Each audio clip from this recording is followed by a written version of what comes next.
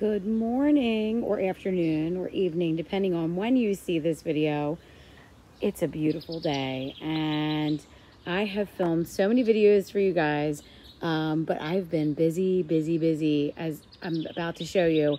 Uh, a lot has changed here in the past couple weeks. I apologize for not being consistent with the videos.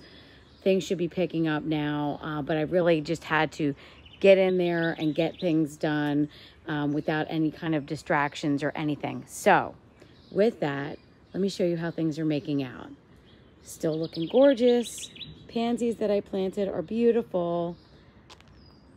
And then this rose is unfortunately fizzling out right now, but I do have some really beautiful footage of what it looked like when it was more in full bloom. So I'd like to get close to show you these Benjamin Britten roses because they are looking so, so beautiful. And these have a wonderful fragrance too. Kind of like a fruity scent. They are just gorgeous. I'll be cutting off the spent blooms and hoping for a repeat flowering. That's the Benjamin Britten rose.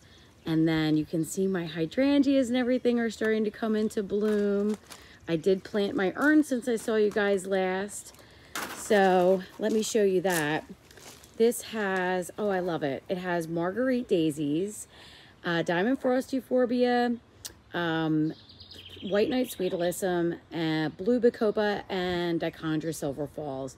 And I have to say, this is probably one of my most favorite urns that I have ever ever put in here. Um, I love it. I love the look.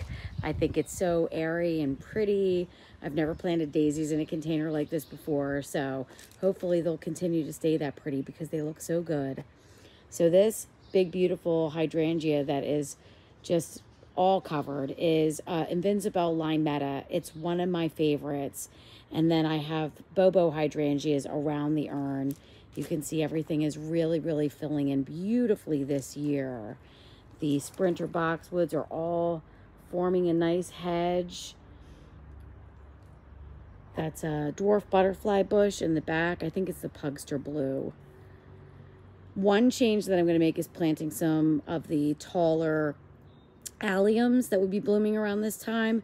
That way for next year, I'll plant those in fall. You'll see those purple, you know, little little dots just floating all over. I think that would be really pretty. And I'd like to maybe put some iris in here too. Uh, but I've got the tulips and those are looking great. And then the, and then I also have um, Millennium Allium. And I do have some Powwow White. Uh, I just covered them up with cloches because the bunnies were nibbling on them earlier in the season. And they are starting to come back now. Uh, but I have a, um, Echinacea purpurea over here. And then I've got the Echinacea powwow white here. And those get huge and beautiful. Um, this rose, okay, this rose is so spectacular. This is Rise Up Lilac Days Rose. And I planted it last year and it was just a, a tiny little thing. And now you can see it is just absolutely covered in buds and in fresh blooms. It's just gorgeous. I have my sweet peas here. They are falling over quite a bit because there is so much going on in this particular uh, bed here. I need to cut back these daffodils very much to get some more light and air and maybe put a few little annuals around the edges there. So I'll do that soon, even though I know you're supposed to wait for the foliage to yellow we'll see. I'm not going to wait for that.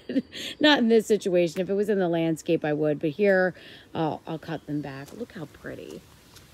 Look how pretty. Sweet little bumblebee. I love that about these particular roses. They're real open in the center, which is very appealing to the bumblebees. This is Brother Stefan Clematis. And you can see my window box is all sorts of different things. It's just like a bunch of different colors and things this year. Geraniums and petunias and ivy and just, I, I don't know that it was necessarily planned, but I took a lot of plants I had on hand and kind of just jammed them in there. So we'll see how it does. It looks pretty right now. I mostly plant this particular window box because we enjoy it in the family room and it's like kind of our little mud room area. There's a bench there and you can see the little flowers kind of floating in the window there. That's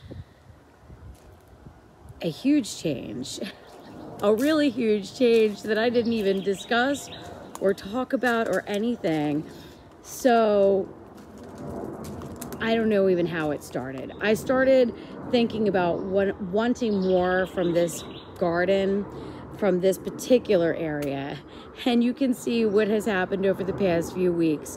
Um, this is a parterre of sorts that I'm working on and it will have a diamond pattern in the center and then I have some perennials planted in each of the quadrants this was a huge huge project and really I, I think I knocked this out in maybe a week yeah I think probably last week this time I was saying that I wanted to do this and um, those are all sprinter boxwoods they're quart size which was what the little ones over here were two years ago. So if you can imagine in two years time, those shrubs will be touching and you'll be able to see a defined pattern. Um, it's going to look so good. So four rounded boxwoods on the ends and then just a rectangle and then a diamond shape in the middle. I just think it's going to look so good. And in this area, I would love to plant, you know, some tulips maybe some iris and things like that, and then have the summer perennials come in.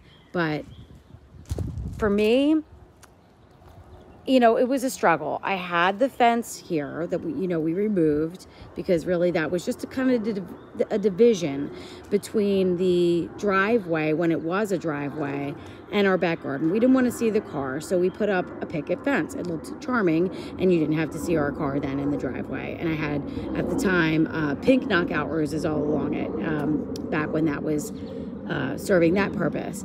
Well, then I decided I didn't want the fence you know, how that went. And then I planted the row of boxwoods as a division.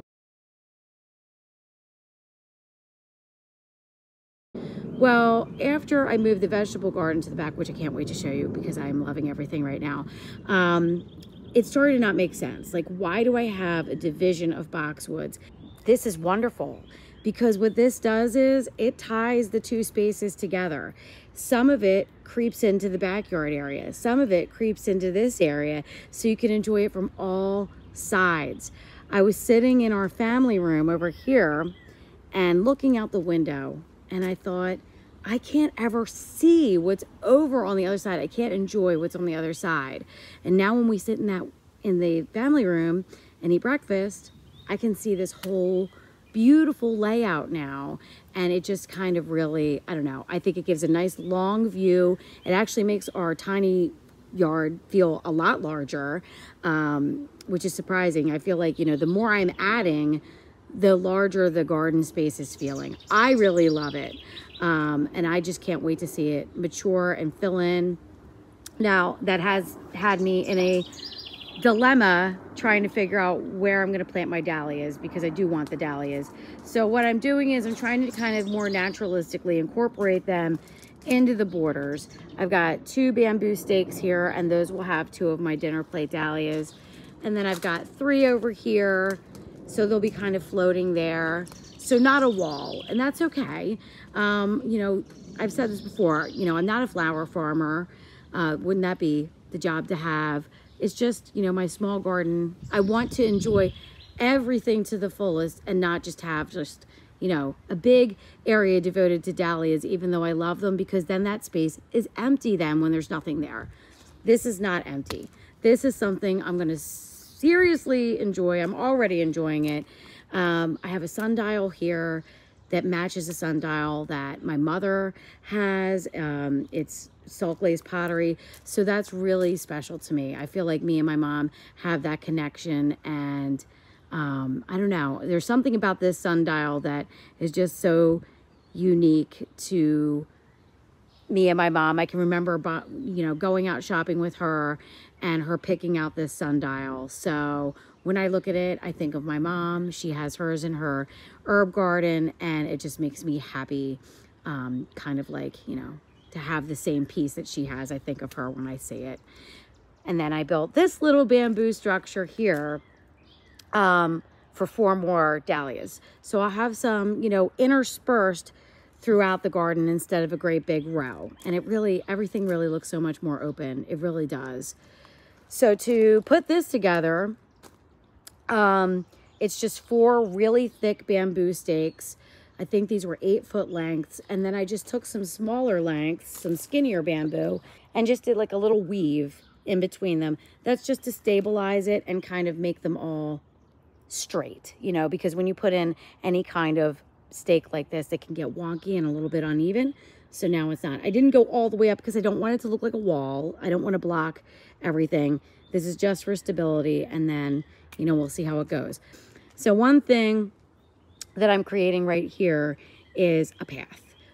Before, when I had the boxwoods coming straight across and the fence coming straight across, it completely blocked me from here. And it might not seem like a big deal, but with the greenhouse and the vegetable garden here, you know, this is the shed space now, and we walk this way constantly. This is it. This is the path. And we would find ourselves, you know, doing a little shimmy to the side and trying to get past boxwoods and things. So I'm making an actual, actual path here. There will be a couple stepping stones. I'm still working out, you know, the gravel situation, but this will be stepping stones. And you can see I've created and extended. I love the curve because I love curves in a garden, but everything is so straight here just because that's just how it ended up being and how it kind of flows here. So to have this nice curve feels so nice. I went ahead and I edged this with the Half Moon um, edger shovel, and this is actually sheet mulched. I did not dig up any of this turf that was here. Um, so I used cardboard that will suppress the, and eventually kill out the grass, and then just laid my topsoil on top. Um, definitely follow Jay's Garden Journal, J A Y S garden journal. She's one of my garden friends and so inspiring. She's both on YouTube and on Instagram, and she is like the sheet mulching queen. So if you have any questions about sheet mulching, I'm definitely not the one to ask. This is the first time I've done it, and I definitely recommend you check out her page because she has done some seriously phenomenal things with sheet mulching. Okay, so now, oh my gosh, you guys, look, look how beautiful everything is looking. I know you can hear my excitement because I'm truly excited. I can't believe that this was not here and now it is here. Now I still have work to do, so don't look too close.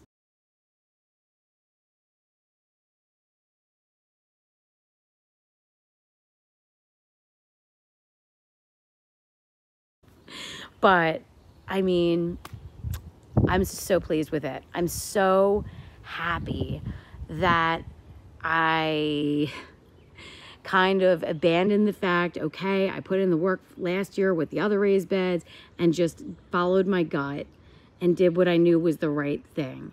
Having this area connecting the shed and the greenhouse and the bench and the raised beds was the right decision. And it just feels good to me. I enjoy being out here more than I ever have, more than I ever enjoyed being in the other vegetable garden area. It was always tight. Um, it just didn't look right to me. It didn't feel right to me. So I didn't spend amount of time out there that I would like to. So lots of things going on. I have things I still have to plant. Uh, I have gravel, as you can see, the ends here, because I'm shoveling away gravel in this area and moving it, uh, you know, wheelbarrow fulls of it over to this area and manually shoving it over because I don't want to you know, I want to use that gravel in this new space and, and I don't want to order more gravel. So that's what I'm doing. Um, and it's working out great. I've got lettuce in here that is just, it's too late that I planted the lettuce because it's hot. It's getting hot and that lettuce is going to just fry up. Um, but you know, I just want to get some lettuce in the ground. I've never, I've never planted lettuce and I was really excited um, to plant those. So I did. Um, a little strawberry pot.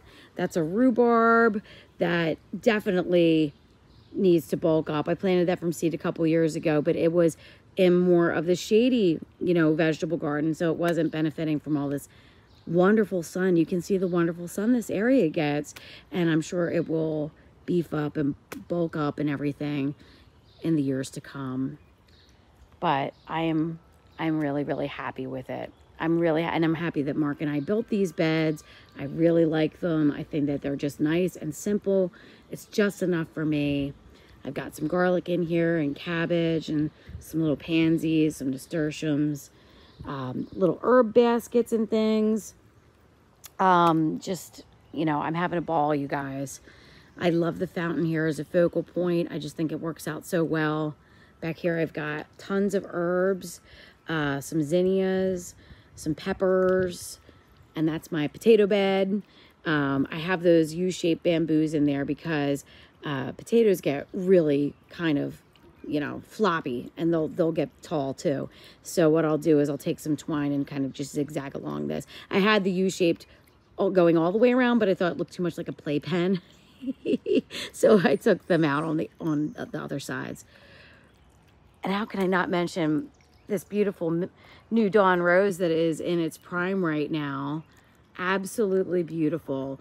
Eventually, I'd like to have some uh, lattice, mount some lattice uh, or trellising to the roof and let her go up onto the roof because she wants to.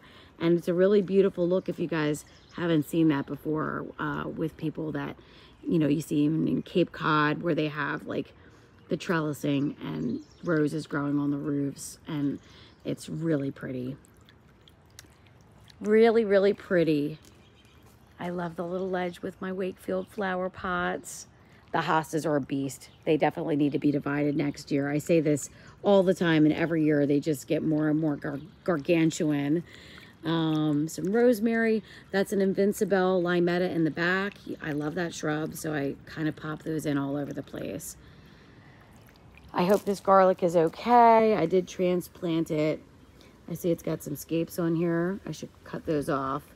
Um, usually garlic doesn't do too hot with transplants. I've got tomatoes in the pots over here. I just planted those kind of late with a lot of things. These are um, sugar and sugar snap peas, which I love. I've been just coming over every day and grabbing a couple peas. I snack on these while I'm in the garden. I think it's so pretty. And over here, you can see this is definitely a work in progress. So that's where the other raised beds were.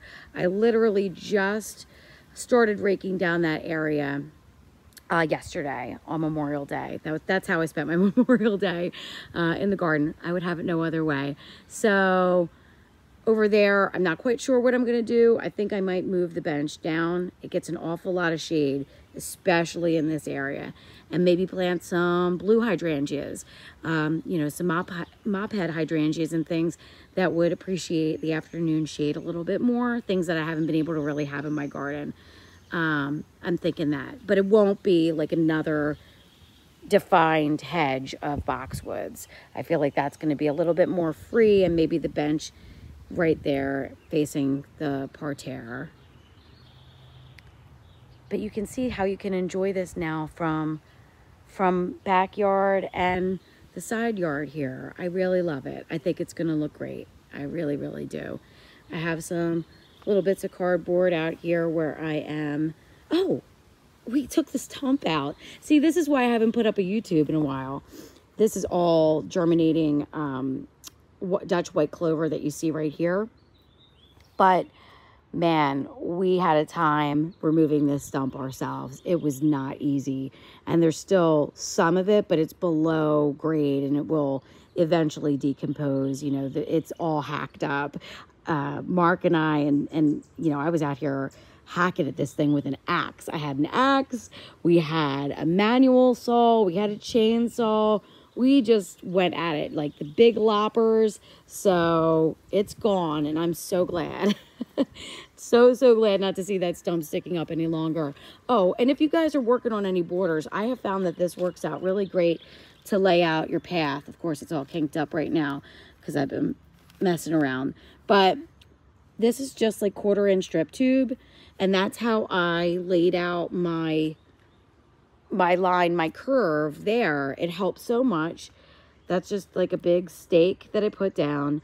And then landscape staples to kind of pin it down in the shape that you want. I've seen people use hoses and ropes and things like that, and those work great too. But I had a bunch of this, and it just works really great because this is going to be a bed too.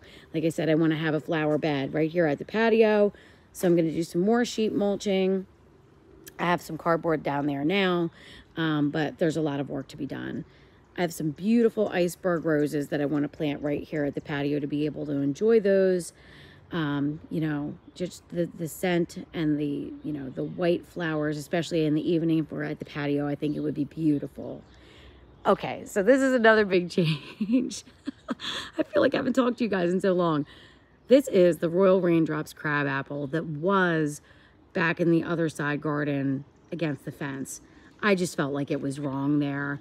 Um, lots of reasons. Um, I started to see it was suffering and not happy where it was. So I removed it and I planted it here a couple weeks ago and she's thriving and doing, doing her thing and loving life in this spot. So I've been keeping good water on it and um, really making sure that it survives here because this in the afternoon is full blasting sun and missing this plum tree, you know, we've really noticed in the house so much intense sun. Sitting here on the patio, we can't even really enjoy it because it's so bright. So, you know, we will sit at the table with the umbrella, but it would be nice to be able to sit here like we used to be able to do when we had the plum tree.